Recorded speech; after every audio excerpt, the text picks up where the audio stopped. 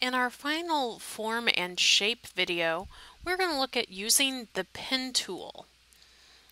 And to kind of get you started with the pen tool, the first thing you need to think about is that the pen tool is not like writing with a writing pen. Um, what the pen tool does is adds points. I'm actually going to change some things. It's usually easier to draw with a stroke and no fill, so we'll set that up. So I draw points and then the pen tool creates that path. So wherever I click down is where I'm adding a point and the paths are being drawn for me. This is a vector shape so it doesn't matter how I scale it or transform it, the quality stays the same. That obviously differs from a pixel based object which may experience a loss in quality as you scale it. So that was drawing straight lines. You can also draw curves.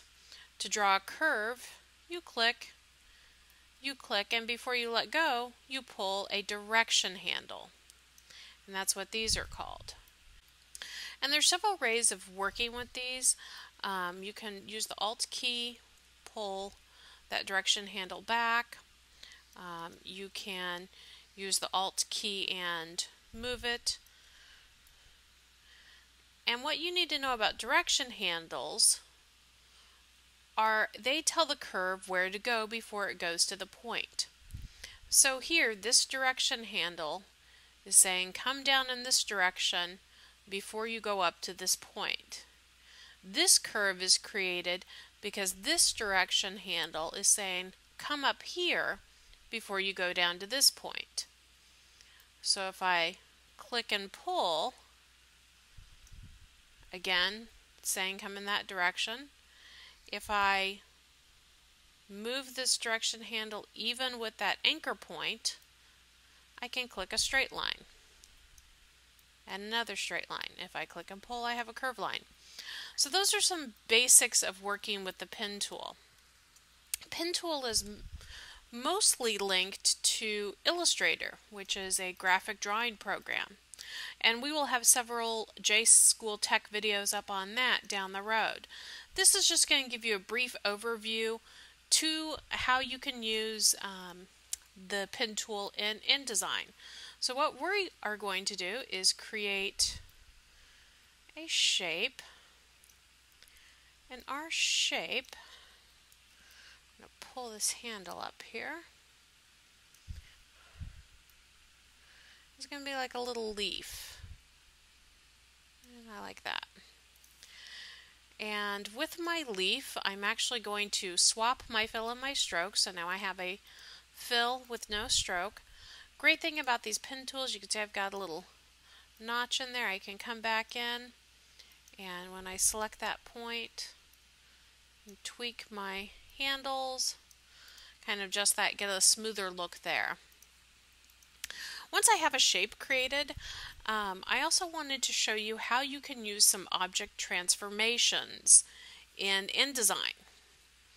Um, and these are again all under the object menu. So if I wanted to repeatedly rotate this, think around a circle, I could use my transform rotate and let's say I wanted it to go 45 degrees. Click preview.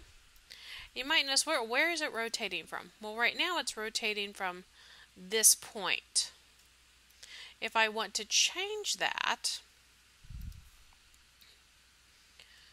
I can go up to my object transform menu and I've selected this upper point. Let's say I want to rotate it from this bottom center point.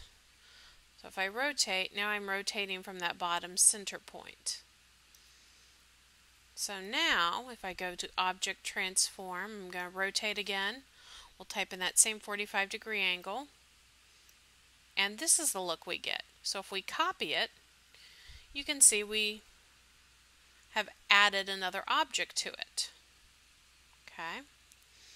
Um, and so you can use that to build a floral type of shape. Um, the other cool thing that you can do, and this is kind of the idea is it would eventually, with a few additions, be like a little tulip. And we can draw our little stem down here. Okay, we'll swap our fill and stroke. Um, you can also use pathfinders to unite these objects. And this is true for any object you have. So let's go back to our window menu and then object, bring up pathfinders. A lot of cool ways to do pathfinders. I'm actually going to do a bonus video on pathfinders next. Select your object. You can use the add. Now that is all one shape. Since I have this interesting path, wouldn't it be interesting to put text along there? That is yet another use for your pen tool. Let's do a high contrast color so we can see it. I'm just going to click down and just kind of repeating that shape. So now I've got a path. If I grab my type tool, change it to type on a path, click down on my path, and I can type on a path.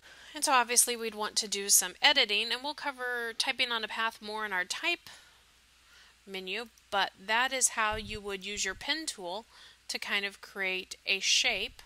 Other things you can do with your objects, and we're going to delete our text for a minute here. Um, let's say that we're going to have this be a green color. And obviously we would want our stem to go below our tulip flower. We can also use our object arrange to send that to the back. These are keyboard shortcuts I really enjoy using. I usually just dial down repeatedly using um, command right bracket or command left bracket. Um, but you can always go up to the arrange menu and that sends it to the back. So lots of things to explore here with your transformations, um, including flipping your objects vertical and horizontal, and notice you can clear all those out, repeat the transformations, etc. So those are basics of your pen tool and arranging objects. Um, I hope you check our bonus video out on using pathfinders.